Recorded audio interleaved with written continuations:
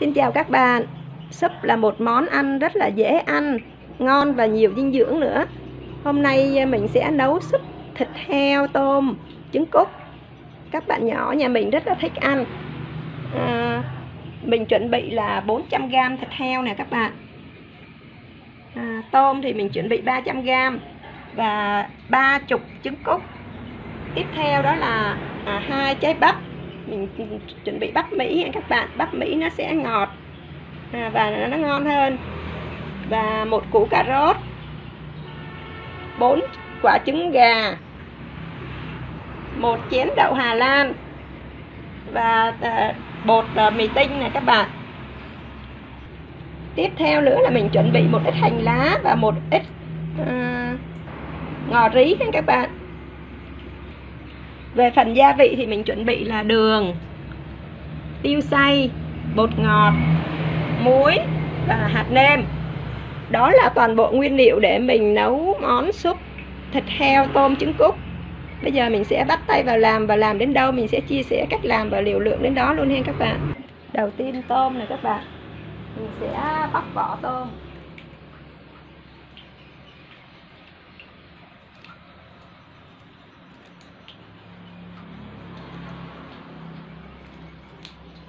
Bắt hết vỏ tôm ra luôn ha các bạn.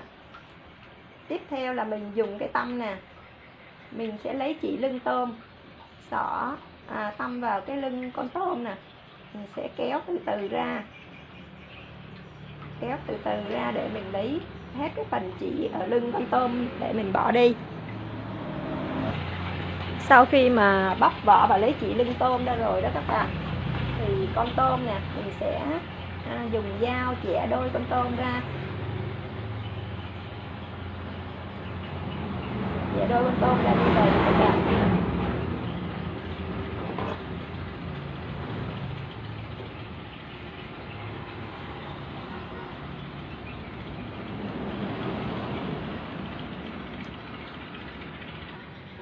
Tôm sau khi mà chẻ ra rồi thì mình sẽ ướp vào đây một ít muối này các bạn một ít bột ngọt. Một ít hạt len. Và một ít tiêu xay này các bạn. Sau đó mình sẽ trộn đều lên cho tôm của mình nó thấm gia vị. Và con tôm của mình nó cũng sẽ còn tươi nguyên tươi nha các bạn. Mình ướp gia vị cho à, tôm của mình nó thấm gia vị nó ngon và nó tươi con tôm. Khi mà mình mua tôm làm súp á, các bạn chọn những con tôm tươi á, thì à, mình nấu súp nó sẽ ngọt và nó ngon hơn. Tiếp theo là thịt heo nè các bạn. Mình sẽ cắt thịt heo cho nó nhỏ ra.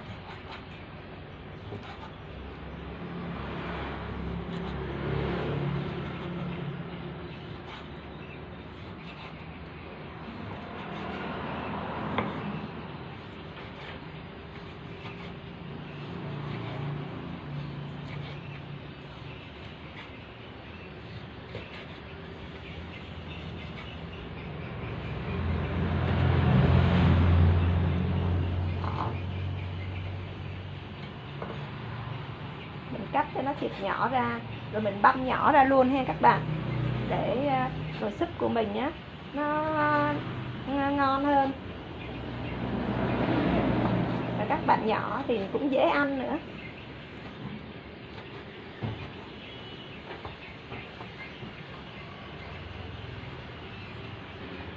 Thịt heo sau khi mà cắt nhỏ và băm nhỏ ra như thế này rồi nè các bạn mình sẽ ướp vào đây à, một ít muối. Một ít bột ngọt. Và một ít hạt nêm. Sau đó mình trộn đều lên nha các bạn. Cho thịt heo của mình nó thấm gia vị.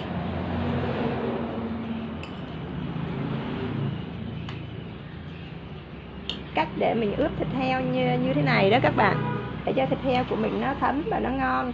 Đồng thời cũng làm cho thịt heo của mình nó được tươi.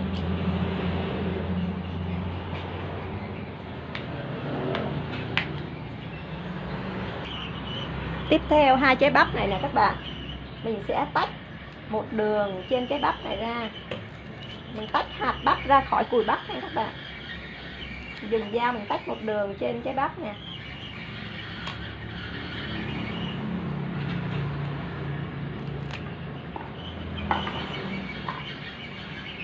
Sau đó mình dùng tay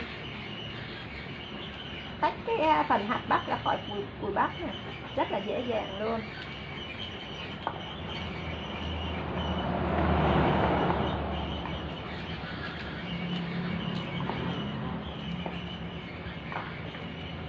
mình tách hết cái ờ, phần hạt bắp ra khỏi cùi bắp luôn nha các bạn.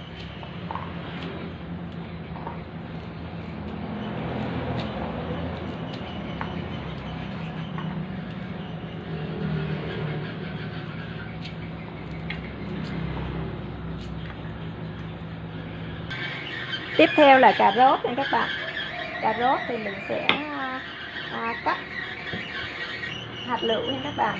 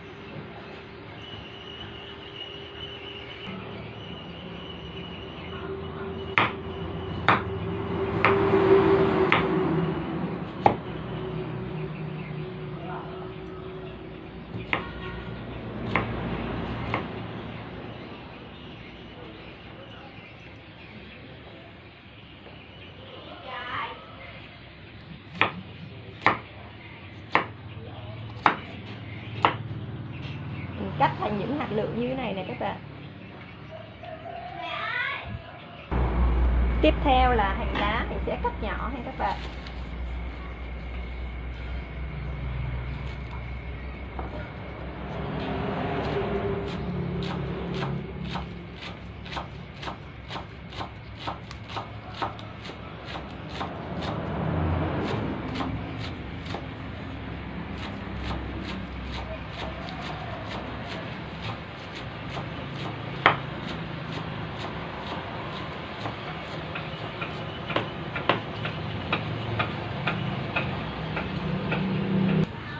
Bây giờ mình chuẩn bị một nồi nước sôi nè các bạn.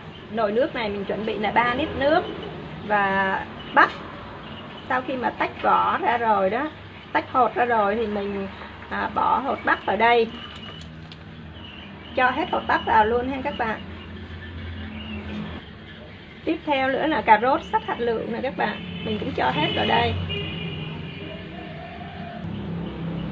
Tiếp theo nữa là một chén đậu Hà Lan nè. Mình cũng cho hết vào đậu Hà Lan, bắp, cà rốt đó mình cho vào để mình nấu để nước súp của mình nó ngọt thơm hơn ha các bạn.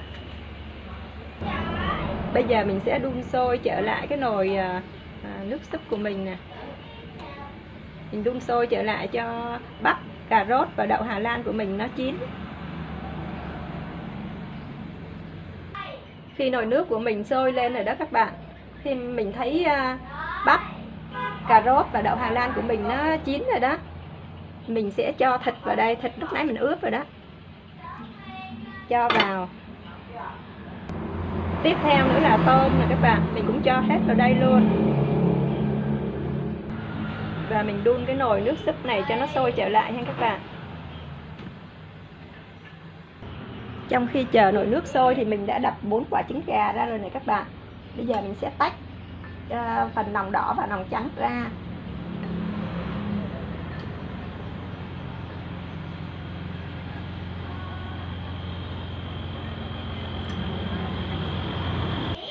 Và mình đánh lòng đỏ trứng ra nha các bạn.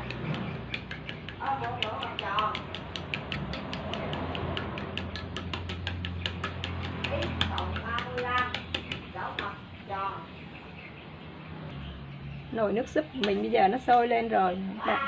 Mình hết cái bọt bên trên ra cho nước nó trong ha các bạn.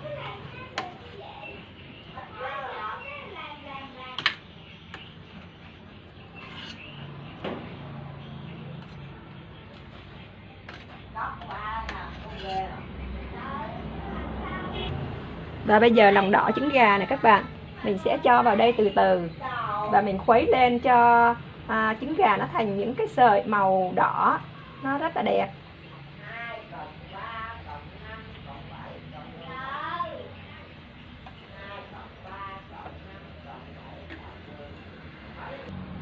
Tiếp theo nữa lòng trắng trứng gà này các bạn mình cũng cho vào đây. Và mình cũng khuấy lên để cho lòng trắng trứng gà nó tạo thành những cái sợi màu trắng nha các bạn. Lòng đỏ thì tạo thành những cái sợi màu vàng lòng trắng thì tạo thành những cái sợi màu trắng làm cho nồi súp của mình nó thêm hấp dẫn và đẹp hơn ngon hơn. Và cái phần trứng cút nè mình đã bóc vỏ và à, luộc bóc vỏ rồi đó các bạn. Mình cho hết vào và bây giờ mình đem đếm cái nồi nước súp của mình cho nó vừa ăn luôn ha các bạn. Mình cho vào đây một muỗng cà phê muối nè. Một muỗng cà phê hạt nêm. Một phần hai muỗng cà phê bột ngọt. Một muỗng canh đường. Nồi súp của mình bây giờ là thơm dữ lắm rồi này các bạn.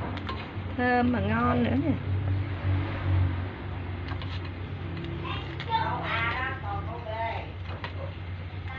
Rất là ngon, nhìn hấp dẫn chứ lắm luôn. Các bạn nhỏ là rất là thích luôn á. Tiếp theo đó là phần bột mì tinh này các bạn. Mình cho một ít nước lạnh vào đây nè. Mình à, khuấy lên cho bột mì tinh nó tan ra.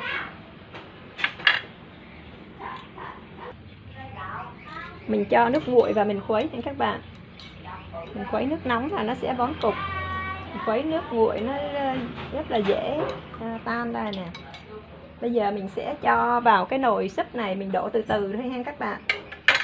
Mình đổ từ từ thôi cho nước súp của mình nó vừa sánh đặc tới là được.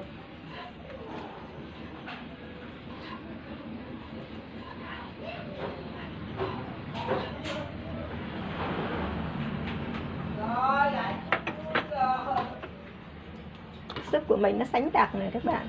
Nhìn rất là hấp dẫn và ngon luôn nè. Thơm dữ lắm luôn. Quá ngon luôn nè. Các bạn nhìn nồi nước súp của mình bây giờ là ngon dữ lắm này nè.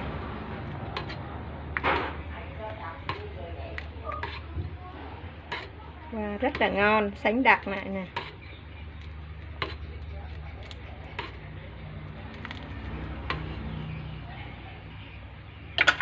và bây giờ á, cuối cùng là hành lá và ngò rí lúc nãy mình sắp nhỏ đó các bạn. Mình cho vào đây.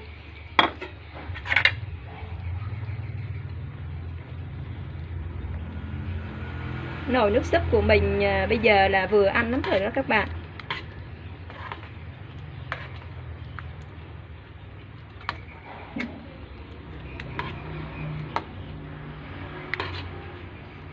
Ngon luôn này